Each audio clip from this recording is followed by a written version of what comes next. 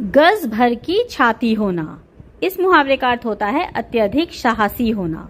वाक्य है, उसकी गज भर की छाती है। तभी तो अकेले में ही चार चार आतंकवादियों को मार दिया। गजब ढाना। गजब ढाना मुहावरे का अर्थ होता है कमाल करना। वाक्य है, लता मंगेशकर ने तो गायकी में गजब ढा दिया है। गच्चा खाना। गच्चा खाना मुहावरे का अर्थ होता है धोखा खाना। वाक्य है रामू गच्चा खा गया, वरना उसका कारोबार चल जाता। गंगा नहाना। गंगा नहाना मुहावरे का अर्थ होता है, अपना कर्तव्य पूरा करके निश्चिंत होना।